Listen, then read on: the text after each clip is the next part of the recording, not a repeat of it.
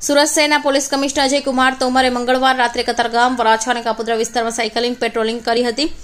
પોલીસની કામગીરી બાબતે લોકોની સાથે સંવાદ કરી લોકોના પ્રશ્નો વાંચ્યા આપતા હતા. ઉલ્લેખનીય બાબત એ છે કે મોટાભાગના વિસ્તારમાં નવા પીઆઈને ચાર્જ આપ્યો છે. તે વિસ્તારમાં પણ સાયકલ પેટ્રોલિંગ કરીને પોલીસની કામગીરી કરી વધુ અસરકારક બનાવો અને લોકોની સાથે ડ્રગ્સ તેમજ એફઆર આરઆઈ વિશેષ જનજાગૃતિ અભિયાન પણ કરી રહ્યા હતા.